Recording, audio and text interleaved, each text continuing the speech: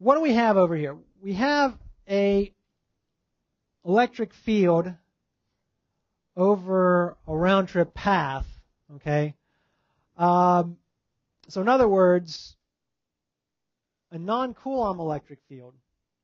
So you can think of it as a non-Coulomb force per unit charge, right? Remember electric fields we can say are, can take the electric force and divide it by the charge. It's one way to define an electric field. And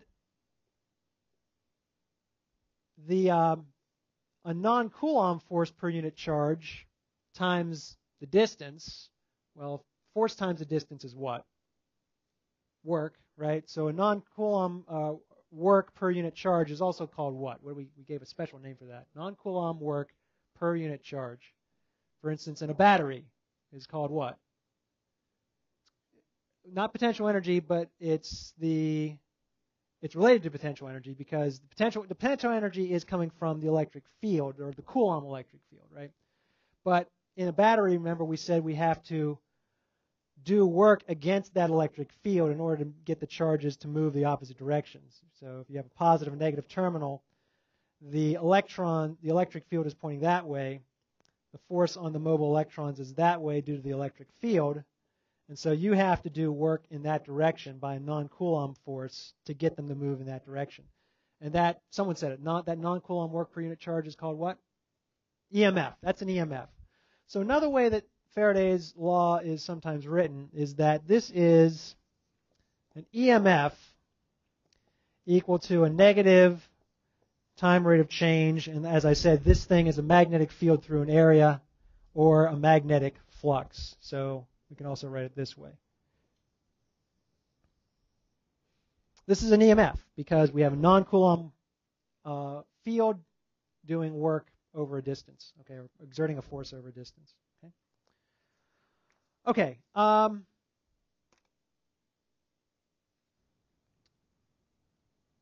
we need to go through some steps in order to figure out how to or uh, to get the direction of these electric fields that are created by changing magnetic fields. And there's a procedure we have to go through. And so we're, we're going to spend some time just talking about how to get the direction before we get do any uh, calculation on this.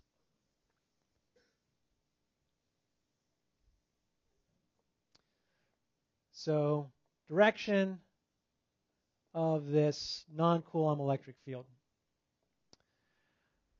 And there's some just a, there's just a procedure you have to go through, and you just kind of have to go through the steps each time in order to get this right.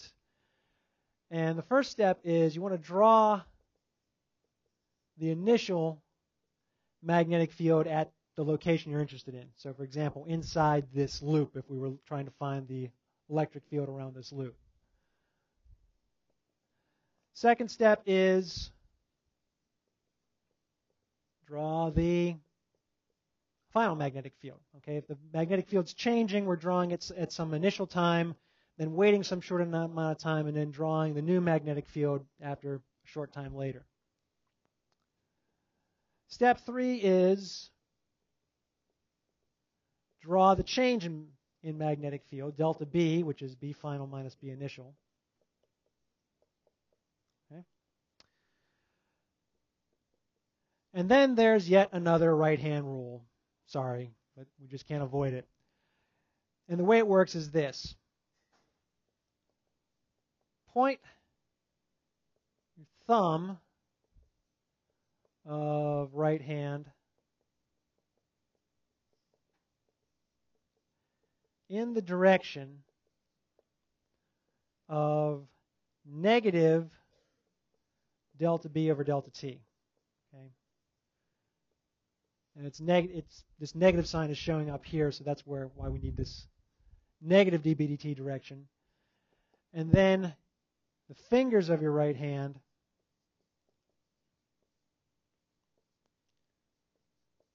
curl around in the direction of the non-Coulomb electric field. Okay. This isn't the only way to get this direction, but it's really the most straightforward way. And if you just stick to the steps, you should be able to get it right every time. Okay? So we're going to go through uh, some examples here. And let's take a look at uh, question or two. Let's see. So the first thing we want to do is just remind ourselves how to find changes in vector quantities. And so let's just think about finding delta B. Here is a bar magnet. South pole is closer to the origin than the North Pole. Okay, so arranged this way. And we're at time t1, it's here, and then we're moving it closer. So at time t2, the bar magnet's closer to the origin than it was earlier. What's the direction of delta B? Okay, so we just want to figure out what's the direction of the change in magnetic field. Reminder, you, the first thing you should do is draw the initial magnetic field. Next thing you should do is draw the final magnetic field. Think about what changes between the two. Then you should be able to figure out the ch- direction of that delta B vector.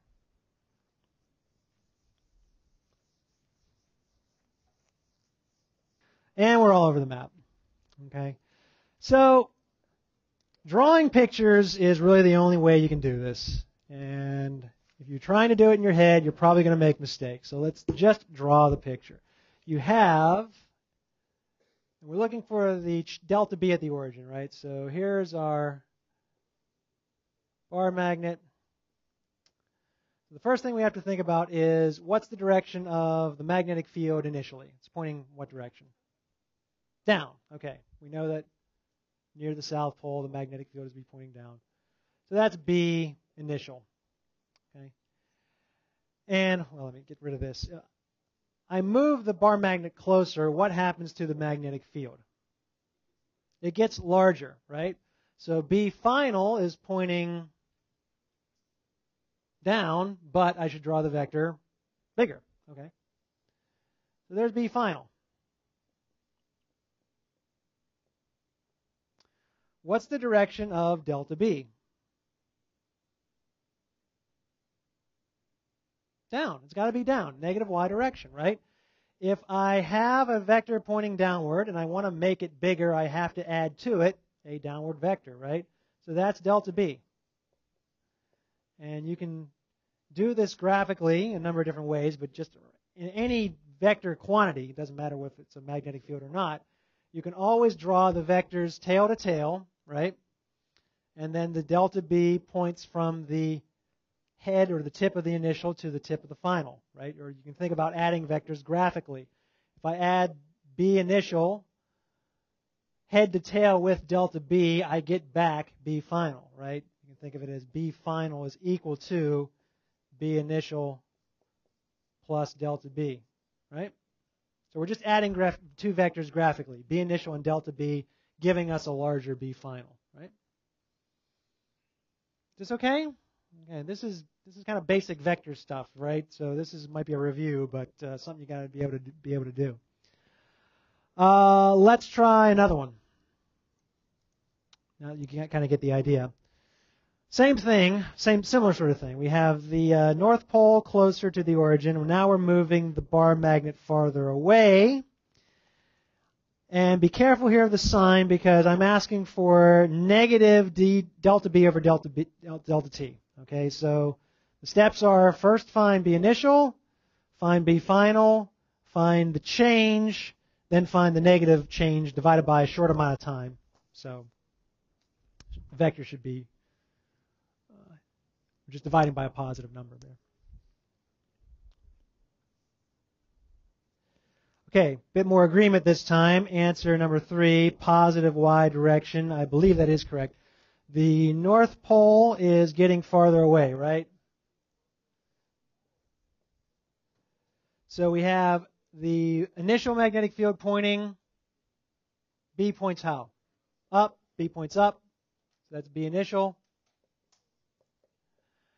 If I move the uh, magnet farther away, B final is up, but smaller. Thank you. So there's B final. Delta B is down. Delta B is down, but negative delta B is therefore up. Okay? So that's delta B. Negative dB dt, or negative delta B over delta T, is pointing up. Okay? So what we'll do next time is that now that we know how to figure out these changes in the magnetic field and the negative change in the magnetic field, we can then apply the last step, which is figuring out how what the direction of the non-Coulomb electric field is in a situation like we demonstrated earlier.